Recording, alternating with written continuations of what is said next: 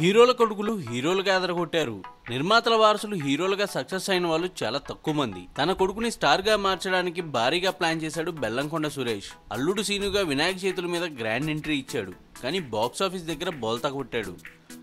రెండో cinema speed ఉన్నోడు కూడా స్లో అయ్యాడు. ప్రస్తుతం బోయపాటితో బిజీగా ఉన్నాడు Seenu. Love story specialist Gautham Menon డైరెక్షన్లో హీరో ఛాన్స్ వచ్చిందని టాక్ వినిపిస్తుంది. ఈ ప్రాజెక్ట్ సంబంధించిన వివరాలు త్వరలో అధికారికంగా వెల్లడి కానున్నాయి గౌతమ్ మీనన్ సినిమా అంటే మినిమం గ్యారంటీ.